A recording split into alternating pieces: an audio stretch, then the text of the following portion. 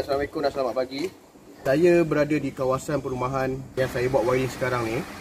Okey, uh, minggu lepas tuan rumah ada WhatsApp saya yang kawasan perumahan dekat sini uh, saya tak boleh bagi tahu dekat mana tapi kawasan dia dekat Kajang. Kan orang mengatakan uh, dalam 35 biji rumah lah yang kena lightning sebab orang punya rumah ni kawasan berdekatan dengan bukit. Kita diwakili oleh kawasan perumahan ni, uh, penghulu kawasan perumahan ni untuk menjadi terpati untuk checking dia punya sistem pemumian sama ada ikut spek ke ataupun tidak. Dia nak tengoklah bacaan dia orang ni bawah 10 ohm ke ataupun tidak. Tapi kita tak boleh nak salahkan mana-mana pihak.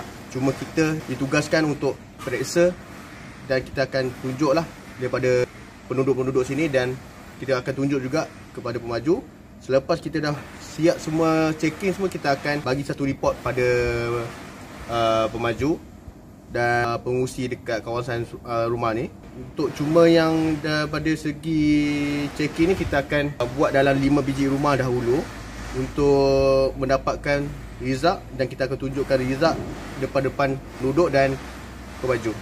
Baik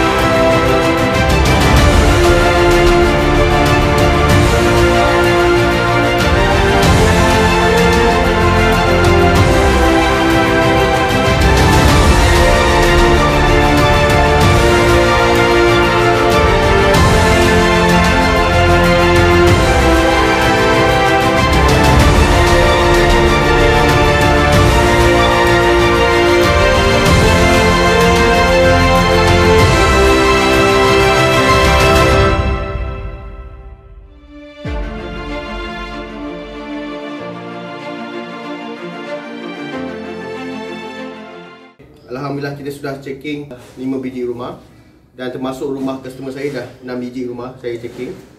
Kita dapat dalam bacaan dalam ada serta-serta rumah dalam 150, 100 ohm dan ada yang lain-lain lagi tapi yang tak bawah 10 ohm.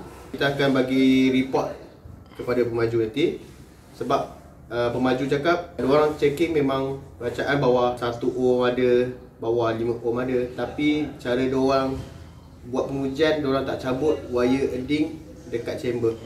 So bacaan memang tak tepat. Kita uh, kita cabut wire yang pergi ke chamber kat road tu, kita cabut dan kita buat pengujian baru kita dapat result yang betul. Okey? Terbaik. baik.